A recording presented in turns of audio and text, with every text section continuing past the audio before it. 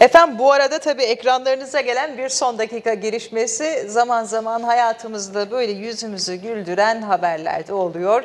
Ve bu haberler tabii ağırlıklı olarak sporcularımızdan geliyor. Örneğin filenin sultanlarından geliyor. Dünya çapında başarılara ard arda imza atmışlardı ve olimpiyatlara gitmeye hak kazandılar.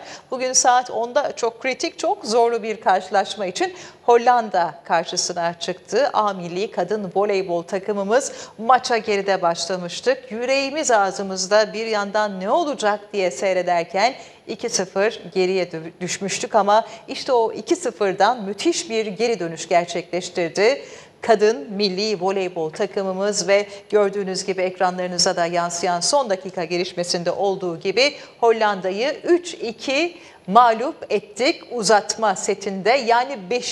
sette kazanan biz olduk. Hakikaten nefes keten bir karşılaşma oldu. Tebrik ediyoruz Amili Kadın Voleybol takımımızı. Ve e, tabii bir sonraki maçın da 1 Ağustos Perşembe günü saat 10'da Dominik Cumhuriyeti'nde olacağını hatırlatalım. 1 Ağustos Perşembe saat 10'da kalpler yeniden A Milli Kadın Voleybol takımımızla atacak değerli izleyiciler. Nefis bir geri dönüşe imza attı. Bize altın madalya yakışır ne diyoruz? Türkiye bir voleybol ülkesi.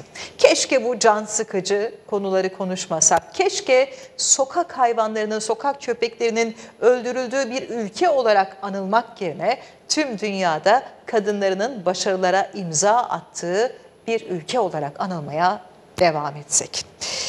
Efendim devam edelim. Dünyanın konuştuğu görüntülerle ve haberle birlikte sizi Venezuela'ya götüreceğiz. Zira Venezuela'da e, halk devlet başkanlığı seçimi için sandık başına gitti. Ancak halkın iradesi o sandık sonuçlarına yansıdı mı?